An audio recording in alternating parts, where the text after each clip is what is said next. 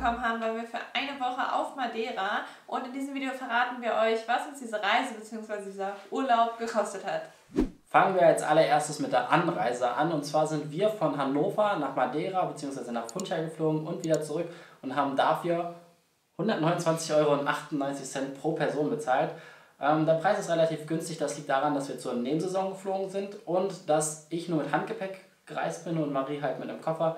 Und in dem Koffer haben wir dann halt unsere Sachen zusammen verstaut. Und zusätzlich dazu mussten wir halt noch unser Auto am Flughafen parken für eine Woche und das hat uns 13 Euro pro Person gekostet. Also das ergibt zusammen für uns beide Anreise- und Abreisekosten in Höhe von 142,98 Euro für diese Woche. Weiter geht's mit den Unterkunftskosten. Insgesamt haben wir sieben Nächte auf Madeira verbracht, hatten während der Zeit zwei Unterkünfte.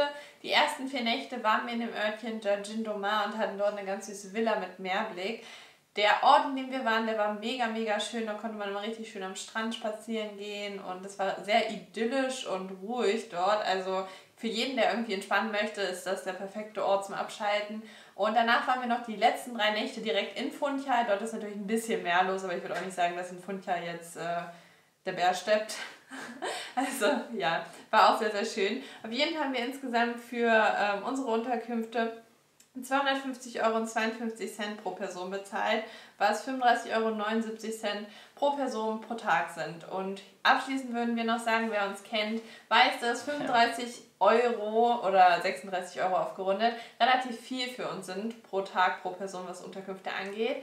Wir sind eigentlich immer günstiger unterwegs, aber wir hatten noch Airbnb-Guthaben und das also die Reise war für uns auch eher mal ein Urlaub als eine richtige Reise. Deswegen haben wir uns vielleicht ein bisschen was gegönnt.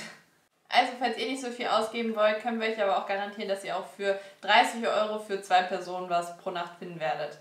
Weiter geht es mit den Fortbewegungskosten, die wir auf Madeira hatten. Und vorweg, wir würden euch definitiv empfehlen, euch ein Auto für die Zeit auf Madeira zu mieten. Ich bin zu dem Zeitpunkt 25 Jahre alt gewesen und wir haben uns für einen Kleinwagen mit Schaltgetriebe entschieden. Das war auch im Nachhinein eine gute Entscheidung. Also wir hatten gar keine Probleme, jetzt die Berge hochzufahren.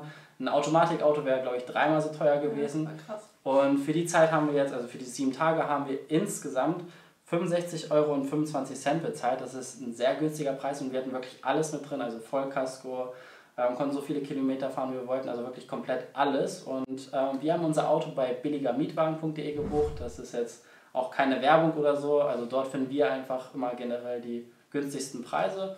Und zu den Kosten kommen jetzt noch Kosten fürs Parken hinzu und fürs Parken haben wir 1,50 Euro bezahlt. Also das war happig. Das war sehr, sehr viel Geld. Wucherpreise.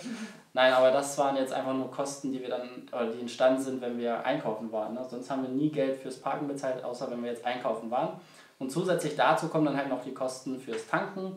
Und dafür haben wir insgesamt 71,06 Euro bezahlt. Ich glaube, wir mussten nur zweimal tanken. Ne? Also einmal so, keine Ahnung, nach drei, vier Tagen und dann halt, ähm, bevor wir das Auto abgegeben haben. Und die Spritpreise, würde ich sagen, die waren fast genauso teuer wie hier in Deutschland. Also pro Person haben wir für die Tage pro Tag 8,61 Euro für den Mietwagen oder für Fortbewegungskosten ausgegeben. Wir machen jetzt weiter mit den Verpflegungskosten. Wir haben die einmal in Lebensmittel- und Restaurantkosten eingeteilt. Ich fange mal mit den Restaurantkosten an. Also, falls ihr unsere anderen Videos kennt, beziehungsweise uns schon länger kennt, wisst ihr wahrscheinlich, dass wir auf Reisen meistens morgens selber kochen, dann tagsüber unterwegs irgendwo was essen und dann abends wieder selber kochen. Ich muss sagen, diesmal auf der Reise waren wir ziemlich faul. Wir haben uns extra eine Airbnb mit Küche genommen, ja. wie immer, haben aber immer nur morgens zum Frühstück selber gekocht, waren dann mittags essen und meistens abends auch nochmal oder wir haben halt nur zwei Mahlzeiten am Tag gegessen. Auf jeden Fall waren wir jeden Tag essen und deswegen sind wir auf Restaurantkosten in Höhe von 107,40 Euro pro Person gekommen, was 13,43 Euro pro Person pro Tag sind. Also ist für unsere Verhältnisse gar nicht mal so wenig, würde ich behaupten. Das ist relativ teuer. Und, War ja auch eher ein Urlaub für uns. Ja, das stimmt. Und ähm, dadurch, dass wir halt auch ab und zu mal selber gekocht haben, also zum Beispiel fürs Frühstück mussten wir einkaufen oder auch Wasser haben wir eingekauft. Ähm, mussten wir halt, wie gesagt, noch einkaufen gehen. Das hat uns 20 Euro und 1 Cent pro Person gekostet, was 2,50 Euro pro Person pro Tag sind. Ja, das waren alle unsere Kosten, die wir jetzt auf Madeira hatten. So Kleinigkeiten wie Souvenirs oder so haben wir uns gar nicht gekauft. Oder Wäsche waschen mussten wir auch nicht wirklich. Äh, doch einmal haben wir Wäsche gewaschen, haben wir dann von Simon haben wir, ähm, Waschmittel bekommen, sonst hätten wir es noch selbst kaufen müssen. Also das wären jetzt vielleicht ein, zwei Euro noch gewesen, die wir dazu rechnen hätten müssen.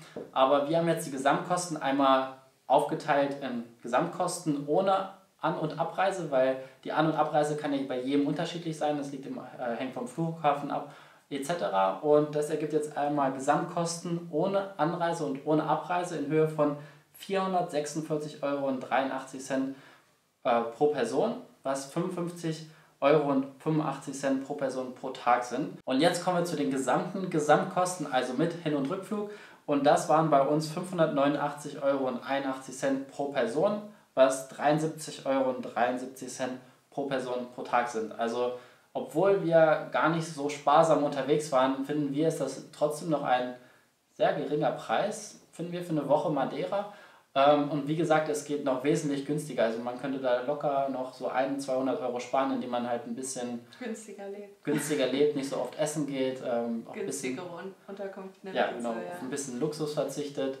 Also man kann auch mit sehr wenig Geld eine schöne Reise, Reise Genau. Falls ihr die Vlogs nicht gesehen haben solltet, wir hatten leider ein bisschen, bisschen Pech mit dem Wetter. Also fast die ganze Woche hat es ja. geregnet, war übertrieben stürmisch, dementsprechend konnten wir nicht alle Wanderungen machen und so. Aber wir haben festgestellt, dass Madeira super gut gefällt, egal was jetzt für ein Wetter war. Wir fanden es mhm. super schön dort und waren dann halt so ein bisschen enttäuscht, als wir dann nach Hause geflogen sind, dass wir halt die meisten Wanderungen und alles, was wir uns angucken wollten, so nicht so machen konnten, wie wir uns das vorgestellt haben. Was aber für uns ein Grund ist, dort nochmal hinzufliegen und mal gucken, vielleicht machen wir das sogar nächstes Jahr, wer weiß. Wer weiß. Das werdet ihr erfahren.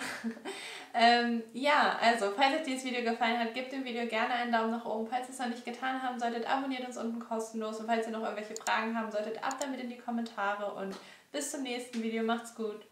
Tschüss.